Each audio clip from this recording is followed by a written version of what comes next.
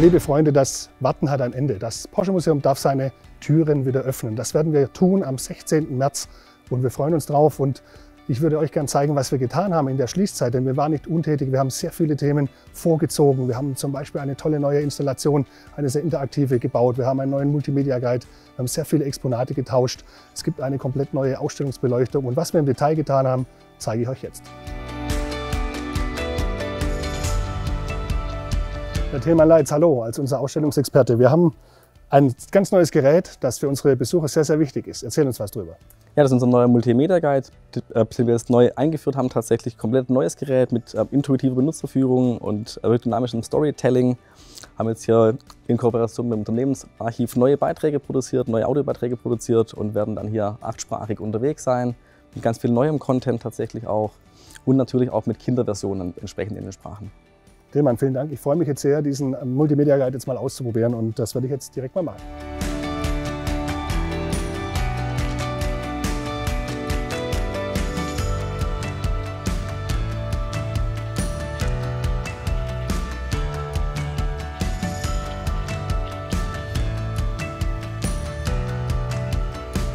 Armin Burger, unser Motorsport-Experte. Erzähl mir, wir stehen hier an einer besonderen Stelle. Bis vor kurzem hing hier noch ein Fahrzeug an der Decke. Richtig, es war 956, Chassis Nummer 002, das originale Le Mans-Siegerauto von 82. Und da wir nächstes Jahr 2022 40 Jahre Gruppe C feiern, war das Grund genug, dieses Fahrzeug wieder von der Decke zu nehmen und in Weissach draußen bis zu diesem Zeitpunkt wieder fahrbereit zu bekommen. Unsere Installation dieses an der Decke klebenden Fahrzeugs ist ja sehr aufwendig und sehr ja, extravagant. Erklär mal, es war sicherlich nicht einfach, dieses Originalauto dort wieder zu entfernen. Das ist vollkommen richtig, zumal keiner der Mitarbeiter damals dabei war, wo das Auto an die Decke hingekommen ist. Deswegen war es für uns eine besondere Herausforderung. Aber anhand von, von Bildern und Fotos und auch ein bisschen äh, Know-how von äh, diversen Helfern haben wir das Auto wunderbar von der Decke bekommen. Auf was dürfen sich unsere Besucher hier wieder freuen an dieser Stelle? Es wird wieder ein Gruppe C-Fahrzeug an der Decke hängen derselbe Typ, also auch ein 956. Die Geschichte, dass dieses Auto bei einer bestimmten Geschwindigkeit an der Decke fahren kann, bleibt also dieselbe. Lediglich hat dieses Chassis kein so ein geschichtlicher Hintergrund. Es war ein ehemaliger Entwicklungsträger. Aber es entspricht genau unserer Philosophie. Die Autos, die früher für Porsche Siege eingefahren haben, bringen wir wieder auf die Strecke zurück. Genau so ist es. Vielen Dank, Armin, für die Erklärung. Sehr gerne.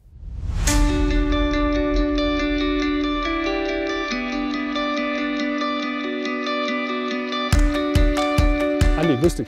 Hallo. Ja, Mensch, es ist vollbracht. Eines unserer wichtigsten Projekte während der Schließzeit hier im Porsche Museum war der Austausch der kompletten Beleuchtung im Ausstellungsraum.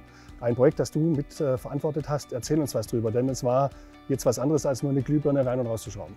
Ja, also wir äh, haben erstmal an alle Deckenkegel, an alle 288 Deckenkegel komplett neue Kabel ziehen müssen, haben dann eben die installierte Technik komplett demontiert und haben dann einen sehr ähm, innovativen und äh, modernen Scheinwerfer gefunden, der auf der einen Seite dem Architekturlichtcharakter hier drin gerecht wird, aber auf der anderen Seite eben auch bei Events äh, multifunktional einsetzbar ist.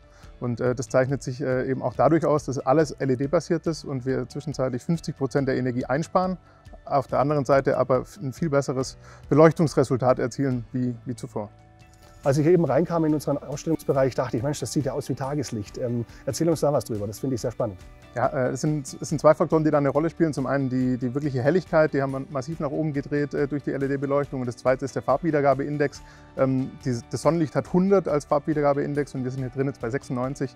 Und äh, deswegen kommen eben auch unsere Farben der Fahrzeuge noch brillanter zur Geltung.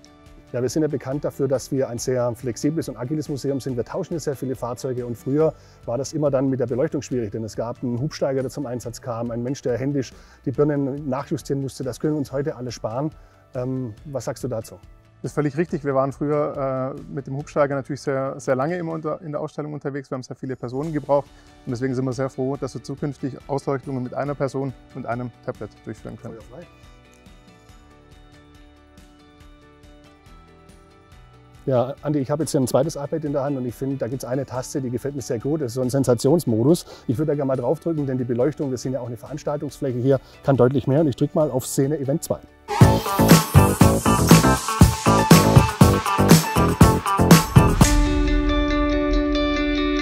Andi, auch zwei neue äh, Gerätschaften hier in unserer Ausstellung, nicht nur für Rennsportfans. Ähm, erzähl uns was drüber. Ja, das Besondere an den Fahrsimulatoren ist, dass wir ähm, die, die, Schwierigkeitsstufen individuell für jeden Besucher einstellen können. Und so können wir eben einfach von, von einem kleinen Kind bis zu einem großen Kind, von einem Jungen äh, bis zu einem Alten alles individuell einstellen, sodass jeder seinen Spaß mit den Fahrsimulatoren hat. Und äh, die ja, Besonderheiten sieht man auch ein Stück weit. Wir haben ein gecurvedes Display äh, vorne, das eben optimal ausgerichtet ist. Wir haben eine Motion-Plattform, das heißt, der ganze Simulator kann sich nach oben, nach unten, nach vorne, nach hinten und nach links und nach rechts bewegen. Dafür brauchen wir dann eben auch einen vernünftigen Sitz, äh, dass wir den Seitenhalt haben. Äh, und wir haben eine sehr hochwertige Pedalerie, äh, um eben auch wirklich, wie wenn wir Rennen fahren, entsprechend Rückmeldung zu bekommen. Ich finde es eine super Weiterentwicklung, um auch das Porsche-Fahrgefühl hier erleben zu können. Danke.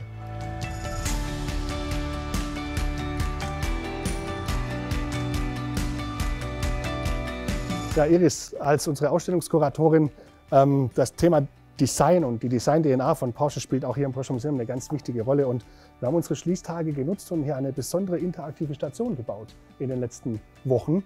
Was kann die und was ist das Besondere an ihr? Also sie kann mehrere Dinge tatsächlich. Ähm, also einmal ist es wirklich ein interaktives Möbel. Also wir haben ja unsere Modellautos die eben, wie man es jetzt auch schön sieht, mit dem Besucher interagieren. Also sie richten sich auf ihn aus, einmal gucken sie an, einmal gucken sie von einem weg. Also dass man wirklich auch interessiert ist, so, ah, was, was passiert hier eigentlich? Ähm, also so wird man animiert, mit ihnen zu spielen. Um was es ja aber eigentlich geht, ist, wie Sie gesagt haben, die Design-DNA. Wir haben hier vorne die Ikone, jeder Porsche ist sofort als Porsche erkennbar. So, aber warum? Also unser Flaggschiff, der 911, hier kann man vorne am Drehteller drehen. Und dann kommen diese Leuchtbänder. Und über diese Linien sieht man dann, was alle Baureihen miteinander verbindet. Also bei jedem Porsche, sei es ein Cayenne, sei es ein Macan, äh, Panamera, die haben immer die gleichen Designmerkmale, wie jetzt hier zum Beispiel das Vierpunktlicht, hier die berühmte Flyline, das durchgängige Leuchtenband. Oder eben hier ne, auch die starken Schultern. Also das verbindet eben alle Porsche, alle Baureihen. Und hier haben wir auch sehr eng zusammengearbeitet ähm, mit der Designabteilung aus Weissach. Die haben uns hier wirklich unterstützt und auch mit dem Konzeptbau aus Weissach.